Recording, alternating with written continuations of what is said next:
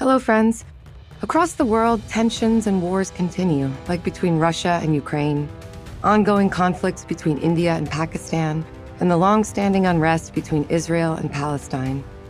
In these regions, advanced fighter aircraft patrol the skies, while powerful radar systems stand guard, protecting their homeland and their friends. But, my friends, did you know how a radar system identifies whether an aircraft flying in the sky is an enemy or a friend? Let's understand this in simple language through 3D animation. And friends, don't forget to subscribe to this channel. You'll get only educational and science-based content here. On your screen, you can see two aircraft, one friendly, one hostile.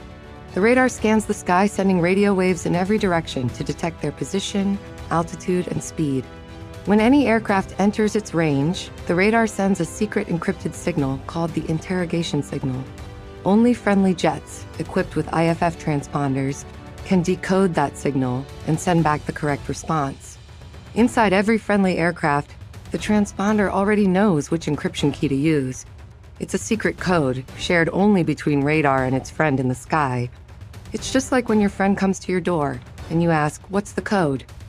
If they say the right code, you smile and open the door because you know it's your friend. That's exactly how radar identifies a friendly aircraft. When the correct response returns, the radar marks it green, friend detected. But if no reply comes or the code is wrong, the radar flashes red, enemy detected, and the alert siren begins to sound.